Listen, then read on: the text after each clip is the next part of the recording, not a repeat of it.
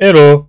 In this session we're going to look at how to load a STL file and simulate an X-ray projection from it using the, um, the library. So first, well, let's see if it's installed properly.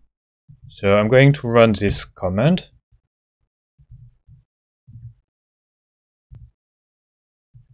So Using the Python interpreter, we're going to load the package and see if it's there.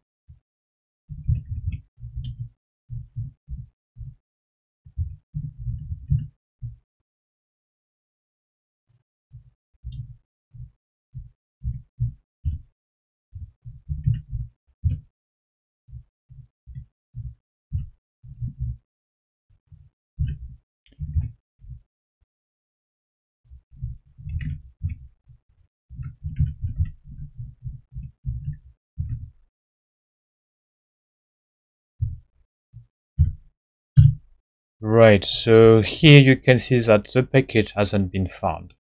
So we're going to check the environment variable, Python path. And if you look carefully, we cannot find where the package is. And I got it somewhere in my home directory here. Uh, that's the path that we will want to add to Python path. So export Python path equal so this directory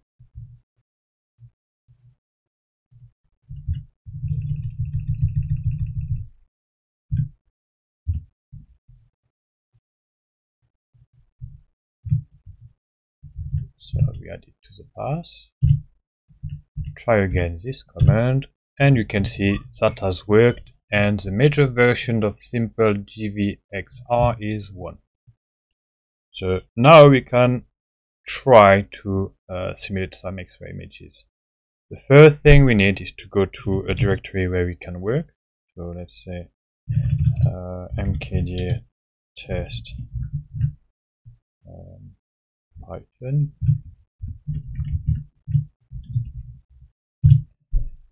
Right. We need to download a STL file, so you have one just there. It's going to take a bit of time.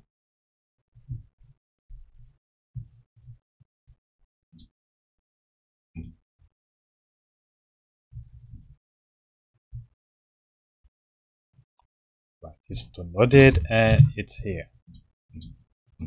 And you can um, visualize what it is. Uh, there's a program that I like a lot. It's uh, called Mesh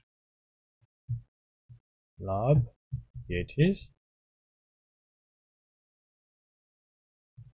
So if we import the mesh, so that was in programming, uh, did it in the branch.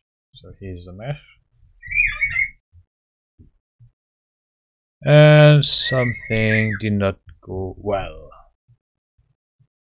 Right, let's try another one. We're supposed to have one there. And you can see that has worked in that case. and you can see this is a very nice dragon. Um, what I'm really looking for is if the normal vectors are oriented outwards. If it wasn't the case, it'd be all black, so um, that's all good. We can close that now. Right, so we can launch a Python interpreter. Or we could write a script, so write all the command in a text editor. Uh, it does not really matter. So import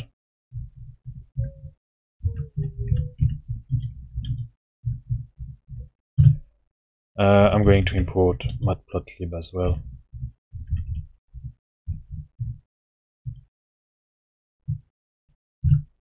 And I'm going to make sure that the backend is uh, a good one. And then, well, we need to be able to plot things.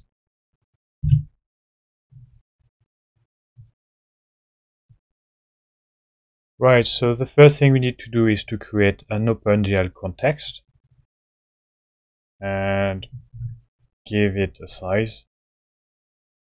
So GL create window and the window size is 512 by 512 and here you can see the uh, OpenGL backend. So we're using a GeForce RTX. There we go. So we now need to set the um, simulation parameters. So where is the X-ray source? Where is the detector? Uh, how big is the detector uh, in terms of pixels? What is the space between two consecutive pixels? And um, the orientation of the detector. What kind of source we need in terms of um, energy monochromatic, polychromatic, what kind of energy, etc. etc. So let's create the source. So it's set source position. Uh, you can choose the unit. So here is minus 40, 0, 0, and it's in centimeters. And we're going to use a point source. Could be a parallel source. Um, 80 keV and we got a thousand photons of 80 keV. Now where is the detector? So this is basically the same as to, as how we set the source position. So here is again along the x-axis, so 10 centimeters. Then the orientation, so the up vector how many pixels do we want? So here um, 640 by 320 and the space between two consecutive pixels so 0.5 millimeter along the two axes. And now everything is ready to simulate an x-ray image. So we need to load uh, the file. So here where is the file? I said we're going to use the one over there. Um, where is it? We should have one somewhere here data. And again, you need to specify which unit uh, to use. So here it's in millimeter. It's going to be take a bit of time while it's loading. Now we need to set um, the properties of the mesh. So density, attenuation coefficient, uh, whatever. Um, so there are various ways to do that. Um, so, well, we could look at how many meshes we got in the scene graph, so in that file. Uh, it should be one because this is from a STL file. But if it was something it might be a little bit more. So as you could see, there is only one mesh in that scene graph. Uh, so we're going to retrieve that mesh. So we need to know its name. So its index is zero because there's only one. So uh, you can see what is the label. And this is STL binary, which is what we had here. So this is actually the label of that mesh. Uh, we could move it to the center. So the object will be centered on 0, 0, 0. And here I'm going to specify the properties of that mesh in Hounsfield unit, which is something used in medicine. Uh, later on, we'll use a different uh, mode when we simulate tomography. Right, so we got a source, we got a detector, we got an object. So we're ready to compute an X-ray image. So just compute X-ray image and save it in here. Uh, so that should be a NumPy array, I believe. We can check that. Uh, right, that's a tuple. So we may want to convert it into a NumPy array.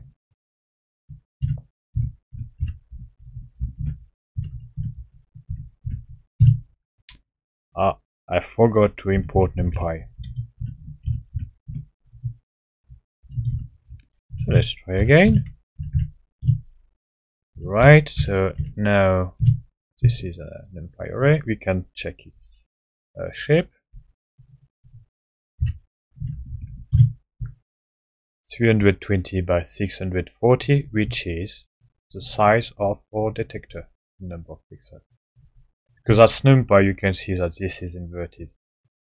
Y, X, X, Y. I like to keep it in the alphabetical order, or like we do in math. We can save the X-ray image. Just say save last X-ray image, and it's saved. Uh, if we look in the folder, we should now have an X-ray image. We can open it with Fiji, which is just ImageJ. It's not installed. Yes, it is installed, I believe. Uh, maybe it's not installed. Right, so I'll install it uh, because I really like it. So I'll start Firefox.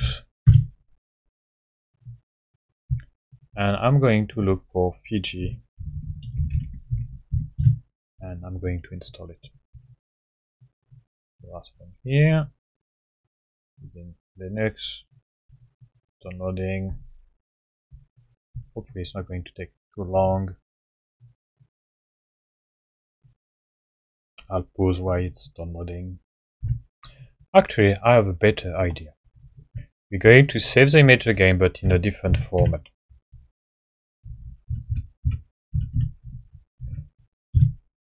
So I should have temp.mhd now in my folder. Uh, no, wrong one. Here it is. Right, so we could look at the header. So this is in float, the image size, and so on. So we can start ImageJ because I know that this is installed, and we just import the raw data.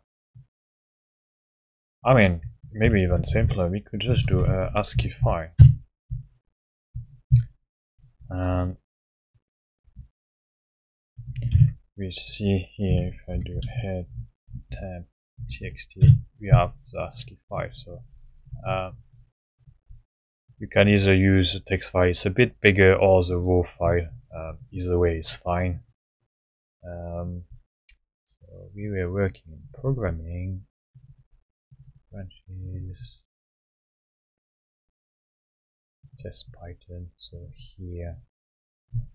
The raw file so 640 by 320 this is in float a little endian because I'm using Intel processor and here's my x-ray image. And in the white area it should be 80k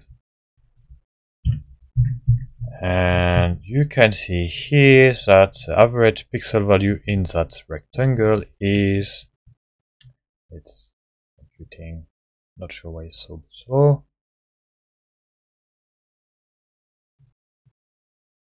not sure why it's so slow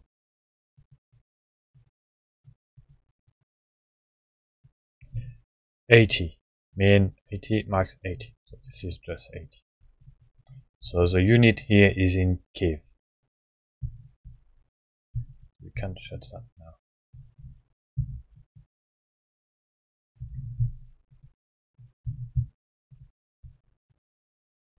Let's go back to here.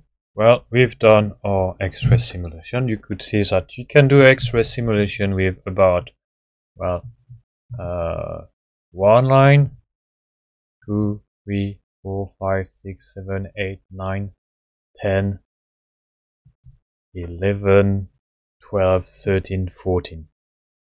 14 lines of code and you got your X-ray simulation. And 15 if you want to save the image. Uh, not bad. Uh, if you want to see the uh, environment, this is possible as well. Uh, so there is a command so we can see the 3D scene. And with this command you can only see it, uh, no interaction. So if you want some interaction, there's another one you need an event loop. So run the loop and hit it. So you can use a scroll uh, button on the mouse uh, and you can uh, move around. B to eye the beam, B to show it again. If you zoom in, you could look at the mesh as well. Uh, w to use wireframe. Uh, if you want to work in negative, press N and you got the negative of the image and press Q to quit. And we can then exit. Now we got our X-ray simulation uh, done. I will provide a Python script with all these commands uh, and with comments uh, in the script so that you can just download it and try. Um, oh yeah, what I forgot. We could display these images using Matplotlib obviously. Right. This is that done. So X-ray simulation using a single STL file. Now we're going to look at importing a Abaqus file, an INP file, in the next video.